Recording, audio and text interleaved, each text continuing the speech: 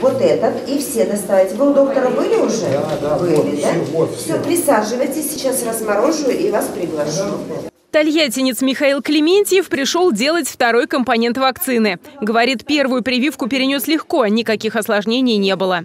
Ну, подумал, подумал, что можно действительно, время такое тяжелое, непонятное, ну, решил вакцинироваться. Жить хочется, да.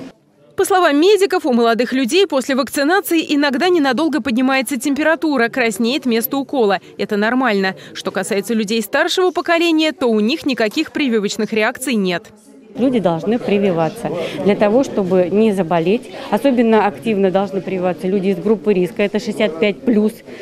Люди, страдающие сахарным диабетом, ожирением, гипертонической болезнью, сердечно-сосудистыми заболеваниями, онкологическими. То есть тут противопоказаний нет, тут наоборот активная должна проводиться вакцинация населения.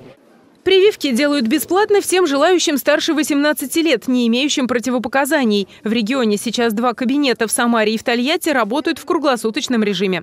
Кроме того, в праздники для удобства жителей будут работать поликлиники и передвижные прививочные пункты в общественных местах.